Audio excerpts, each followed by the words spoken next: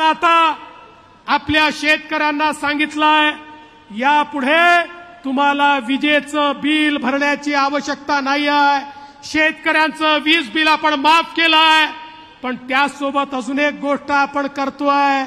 आमचा शेतकरी गेले पंचवीस तीस वर्ष म्हणतो आम्हाला सातही दिवस तीनशे पासष्ट दिवस दिवसा वीज द्या अर्धे दिवस आम्हाला रात्रीची वीज मिळते.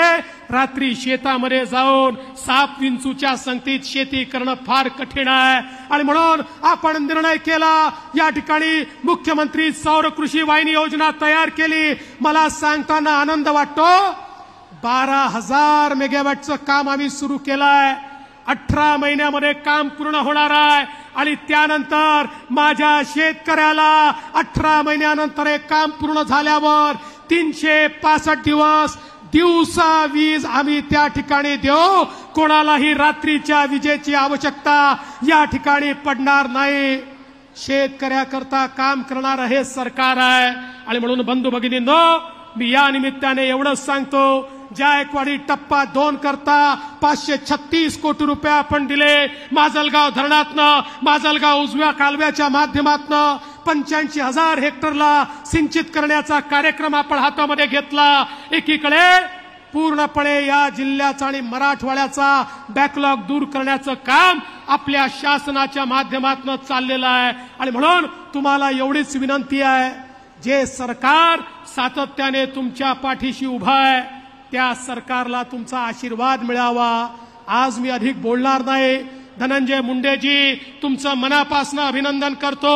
खरोखर पंडित अण्णांना तुमचा अभिमान वाटत असेल. ज्या प्रकारे तुम्ही कृषी मंत्री म्हणून आज या ठिकाणी काम करतात तुम्हाला शुभेच्छा देतो आणि तुम्हाला सांगतो मंचावरचे आम्ही सगळे नेते तुम्ही कृषी मंत्री म्हणून जी जी मागणी कराल त्या मागणीच्या पाठीशी उभे राहू. आणि एवढंच नाही मामाजी आले आहेत मामाजी बोलणारा व्यक्ती नाही आहे मामाजी करणारा व्यक्ति है, ये करने वाला आदमी है, ये बोलने वाला आदमी नहीं है।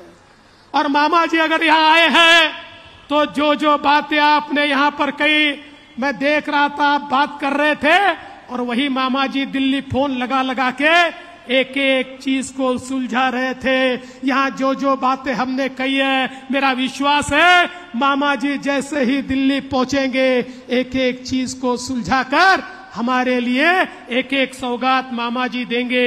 मैं मामा जी का बहुत बहुत स्वागत करता हूं। पुन्हा एकदा आपल्या सर्वांचं मनापासून या ठिकाणी आभार व्यक्त करतो। मागच्या काळात महायुतीचं सरकार असताना आम्ही ठरवलं होतं आमचा मराठवाडा हा दुष्काळी मराठवाडा म्हणून ओळखला जातो. आम्ही त्या ठिकाणी संकल्प केला होता मराठवाड्याच्या या पिढीने या ठिकाणी दुष्काळ पाहिला पण पुढच्या पिढीला दुष्काळ पाहू द्यायचा नाही. आणि त्याकरता वाहून जाणारं पाणी समुद्रात जाणारं पाणी हे या ठिकाणी आपल्याला आणायचं आहे. आणि मला सांगताना आनंद वाटतो पन्नास टीएमसी पाणी वाहून जाणारं हे गोद्यावरीच्या खोऱ्यामध्ये आणण्याचा प्रकल्प आता अंतिम टप्प्यामध्ये आम्ही आणलेला आहे. आणि लवकरच आम्ही हे पाणी आणण्याच्या प्रकल्पाला या ठिकाणी मान्यता देऊ. पहिल्या टप्प्यात पन्नास टीएमसी पाणी या ठिकाणी आम्ही आणू आणि त्यानंतर अजून पाणी आणण्याचं काम आम्ही करू. मला सांगताना आनंद वाटतो. कृष्णा मराठवाडा सिंचन प्रकल्पाची घोषणा अनेक वेळा झाली.